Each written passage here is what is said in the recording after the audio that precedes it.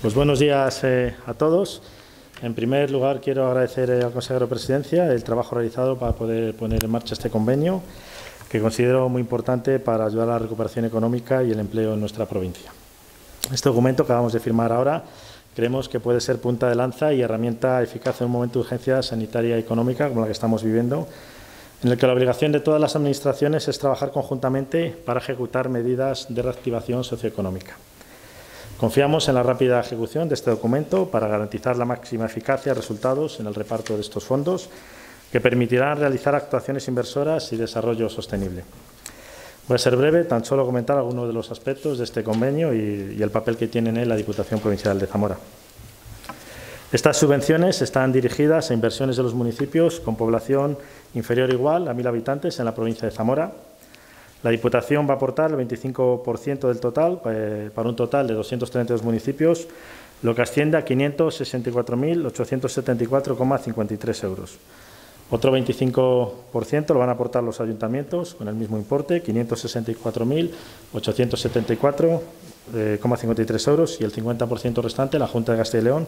eh, 1.129.749,06 con un importe total de 2.259.498,12 céntimos.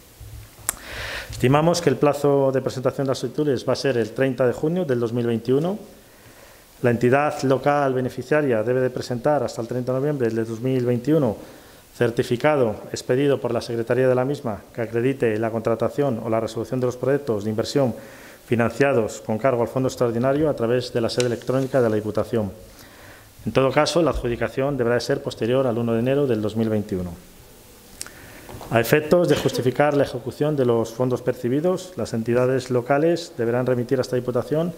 antes del 15 de noviembre de 2022 la documentación que acredita la justificación, para lo cual deberán presentar un certificado expedido por la Secretaría según el modelo que se encuentra disponible en la sede electrónica de esta institución. Por ser más, más claros, plazo de solicitud el 30 de junio del 2021 plazo de contratación 30 de noviembre del 2021 y plazo de justificación de la ejecución el 15 de noviembre del 2022. En cuanto a la tipología de los proyectos a los que se va a destinar estas inversiones, van a ser relativos a abastecimiento domiciliario de agua potable, alcantarillado, pavimentación, alumbrado público, eficiencia energética en edificios municipales. También la infraestructura viaria, no incluida en el apartado anterior, y otros equipamientos de titularidad municipal como casas consistoriales, consultorios médicos, caminos rurales y edificios destinados a la promoción de la cultura y de los servicios sociales. Incluye también eh, suministros relativos al mobiliario urbano, a parques infantiles, parques biosaludables, equipamientos deportivos, como pueden ser pues, canastas o porterías, y básculas de pesaje de camiones y vehículos agrícolas. Como os decía al principio, pues eh,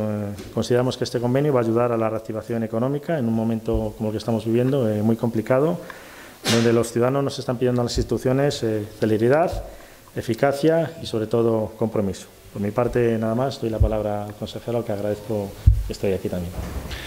Muy bien, pues muchas gracias, querido presidente. Lo primero corresponde agradecerte tu hospitalidad en esta visita que me trae hoy hasta Zamora. Quiero dar las gracias también por eh, acompañarnos en la jornada de hoy al vicepresidente José María, muchas gracias, la delegada territorial de la Junta de Castilla y León en Zamora, que está haciendo un magnífico trabajo al frente de la delegación territorial y también al director de Administración Local, Héctor Palencia, que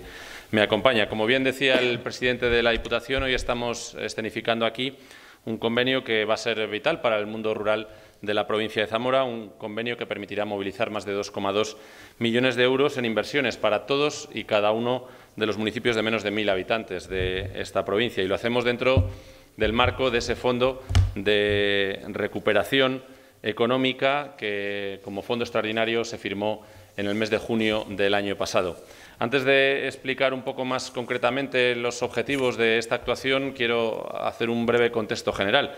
Como saben, la Junta de Castilla y León estamos ahora mismo inmersos en lo que es una lucha denodada contra la pandemia que ya nos está golpeando desde hace un año y que no solamente nos ha traído una crisis sanitaria sin precedentes a todo Castilla y León y también a la provincia de Zamora, sino que está desembocando en una crisis también económica y social que está golpeando a muchísimos sectores a los cuales nos sentimos especialmente cercanos en momentos complicados como los que nos está tocando vivir en la actualidad. Por ello, desde la Junta de Castilla y León tuvimos claro que era necesario hacer una firme apuesta por realizar aportaciones económicas que permitieran eh, financiar actuaciones por parte de las entidades locales de nuestra comunidad autónoma. Y fruto de ese compromiso hemos podido movilizar hasta 93 millones de euros en fondos extraordinarios para la lucha contra la COVID en distintos aspectos de gestión de las entidades locales. Todo ello en función del compromiso que adquirió el presidente de la Junta, Alfonso Fernández Mañueco, cuando firmó ese pacto eh, por la recuperación económica con los diversos grupos parlamentarios en las Cortes de Castilla y León el pasado mes de junio. Quiero recordar que de esos 93 millones, eh, el primer fondo extraordinario eran unos 10,7 millones de euros para la financiación de servicios sociales. Después hubo otro fondo de 80 millones de euros, con 40 para fines sociales, 20 para programas de recuperación de empleo y otros 20 para el desarrollo de inversiones. Y finalmente, un último fondo extraordinario de 1,9 millones de euros para el desarrollo de la limpieza en los eh, centros educativos. Y quiero recordar que Castilla y León ha sido una de las únicas cinco comunidades en toda España que ha puesto en funcionamiento fondos extraordinarios de ayuda a las entidades locales. Y dentro de esas cinco es la que más fondos está aportando a nuestro mundo local. Por supuesto que cumpliendo con esa vocación municipalista y de apoyo a las entidades locales que hemos mostrado desde el primer día. En este sentido, también quiero hacer un llamamiento al Gobierno de España en el que nos sumamos a la justa reivindicación de todas las entidades locales de Castilla y León representadas en la Federación Regional de Municipios y Provincia que llevan ya meses clamando porque el Gobierno haga también un esfuerzo y aporte fondos extraordinarios a las entidades locales de nuestra tierra, de Castilla y León y de Zamora. Creemos que es fundamental que atiendan a esas peticiones y esperemos que antes que después puedan existir esos fondos extraordinarios como está haciendo la Junta de Castilla y León. Hoy, además, eh, mi presencia en representación de la Junta me permite indicar que de todos esos fondos extraordinarios a los que me he aludido anteriormente, em, la aportación de la Junta en esta provincia asciende a más de 5,5 millones de euros, de los cuales más de 1,8 van destinados al ámbito de los servicios sociales, más de 1,6 al Fondo de Empleo y casi 2 millones de euros para inversiones. Concretamente hoy aquí, desde la Consejería de la Presidencia, me trae ese fondo de inversiones para ayuntamiento, que es el que nos encargamos de gestionar en la Consejería. Y en relación con esos 20 millones para los 2.248 municipios, eh, quiero destacar dos datos que creo que son especialmente relevantes. El primero de ellos es que este es el único de los fondos extraordinarios que alcanza a todos y cada uno de los 2.248 municipios de Castilla y León y, por tanto, a los 248 municipios de la provincia de Zamora. Y, en segundo lugar, eh, quiero destacar que este fondo se ha diseñado desde una doble vertiente, de tal modo que un 75% del mismo, es decir, 15 millones, se reparten entre todos los municipios utilizando los criterios habituales que marca la Ley de Financiación Local, con una parte fija y una variable donde influyen aspectos en relación con la población, el peso competencial del municipio, las personas de más de 65 años o el número de entidades locales menores. Pero el otro 25%, que son 5 millones de euros, se reparten exclusivamente entre municipios de menos de 20.000 habitantes y además se atiende a dos factores de corrección que creo que son importantes para esta tierra. Un 20% en función de la tasa de paro provincial, de tal modo que aquellas provincias que han sufrido un mayor golpe económico por la crisis eh, se benefician con este factor de corrección y también un 5% en función de la tasa de despoblación provincial para aquellas provincias que se encuentren por debajo de la media autonómica. Como todo el mundo conoce, Zamora es una provincia que encaja perfectamente dentro de este criterio de corrección. Y por eso estos novedosos criterios son muy importantes para la provincia de Zamora porque quiero poner de manifiesto que gracias a esos criterios y factores de corrección, la cuantía económica que va a recibir esta provincia se ha visto incrementada en un 18%, un 18% si la comparamos con lo que hubiera recibido en caso de haber optado por los criterios habituales de financiación. Creo que es un compromiso claro de la Junta con esta tierra, siguiendo además el mandato del presidente de la Junta, Alfonso Fernández Mañueco, para tratar de corregir los desequilibrios en nuestra tierra, en nuestra comunidad autónoma. Ya si abordamos eh, los datos concretos de las inversiones que vamos a desarrollar en la provincia de Zamora, este fondo de inversión supone la movilización de más de 3,5 millones de euros en total, de los cuales más de 1,3 van a municipios de más de 1.000 habitantes. Y en este caso se corresponde con solicitudes que ya se han autorizado y se han comunicado y publicado esta semana pasada. En este caso hablamos de 15 municipios en total y se incluye aquí también, por supuesto, la capital de la provincia, de Zamora, donde se van a movilizar 350.000 euros. Hablo en este punto del término movilizar porque este fondo está diseñado también para que pueda tener un efecto multiplicador, de tal modo que en los ayuntamientos de más de 1.000 habitantes la Junta hace una aportación del 75% y los municipios hacen una aportación al, al menos del 25% restante. De ahí que hablemos de esos términos en los que movilizamos esa inversión. Y ya concretamente, abundando en las explicaciones que ha dado el presidente de la Diputación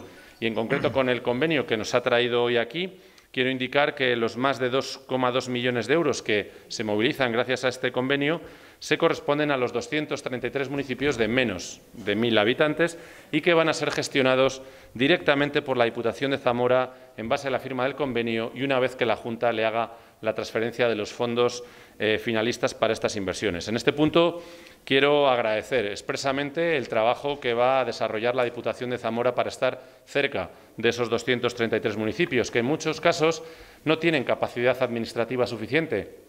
para poder verse beneficiada beneficiados de la gestión de estas ayudas. Por eso es crucial la colaboración entre la Junta de Castilla y León y, sobre todo, el trabajo que van a hacer a nivel técnico desde la Diputación Provincial de Zamora. Muchísimas gracias porque sin ese trabajo y sin ese compromiso sería imposible que llegáramos quizá a todos y cada uno de esos municipios. Esto va a suponer, como bien indicaba el presidente, que la Junta aportará más de 1,1 millón de euros, la Diputación más de medio millón, lo cual supondrá ese 75%, y el resto lo tendrán que aportar cada uno de los pequeños municipios que se ven beneficiados de estas ayudas. Con esto, presidente, vamos a llegar desde Morales de Toro, que es ahora mismo el municipio más cercano a los mil habitantes en la provincia de Zamora, hasta Quintanilla del Olmo, que es el municipio más pequeño con apenas 38 habitantes, según los datos del Instituto Nacional de Estadística del año 2019 que hemos empleado como base para el desarrollo de la iniciativa.